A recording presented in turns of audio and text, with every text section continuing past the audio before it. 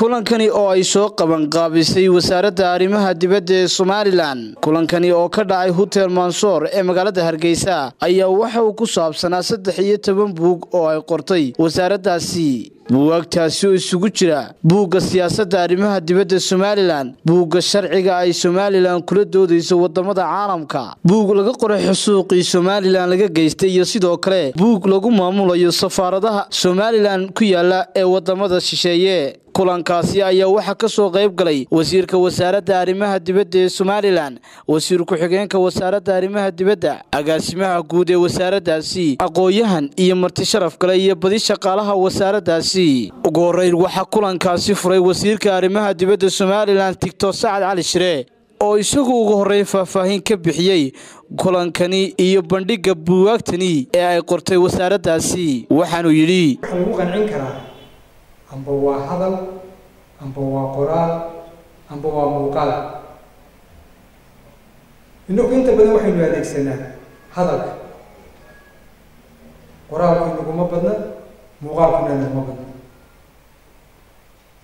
La yaabna male waayo dadkeenna boqolkiiba konton sanadkanaynu joogno labada kun iyo toddobiyo tobanka waxna ma qoraan waxna ma aqriyaan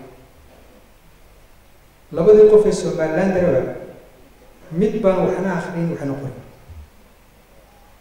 Sidaa awadeed ayaa had iyo jeer aynu u adeegsanaa inagu afka maadaama qoraalku inagu yaryahay caalamka intiisa kale wax badan oo taariikhdeena mujaahidkaya in badani ma oga inaynu boqol sano inaynu taarikh boqol sannadood aynu leedahay. Oo aynu gooni u taagnay somalilan intaasi kadib waxaa halkaasi ka hadlay agaasimaha guud ee wasaaraddaasi iyo sidoo kale marti sharaftii ka soo qayb gashay munaasabadaasi. Iyagoo hadalkayse kala daba qaatay ayaa waxaa hadaladoodii ka mid ahaa. Xafladani sida ku qoran warqadda saddexdaa buug in la soo bandhigo maanta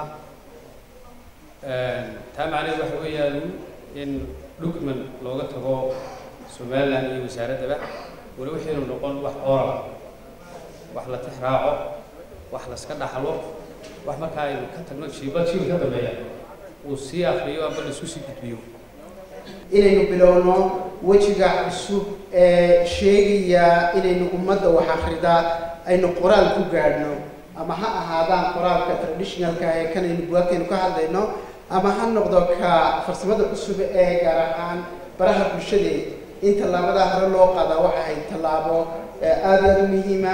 gebagabadii markii ay munaasabadaasi soo dhammaatay ayaa waxaa halkaasi dadweynihii kala duwanaa ee ka soo qayb galay kulankaasi lagu soo bandhigayay bugaagta ay su'aalo weydiiyeen wasiirka arrimaha dibadda ee somalilan iyo mutisaraftii kale. Xamse jaamac xuseen awowo star t v hargeysa